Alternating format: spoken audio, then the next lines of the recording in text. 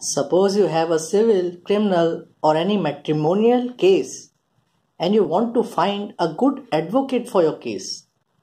So, what are the ways in which you can find a good advocate? Traditional method is to ask for a reference from your friends or family. But I am going to suggest you another way.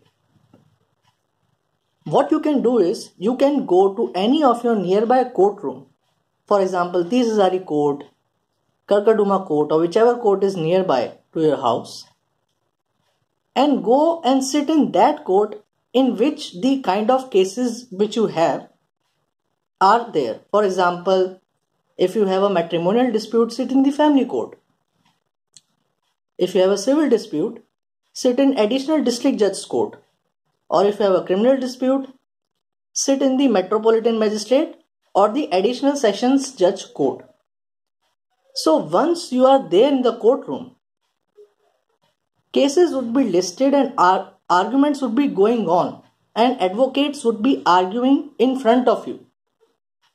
So you may choose then and there whose style of argument is good and who is a good advocate for your case.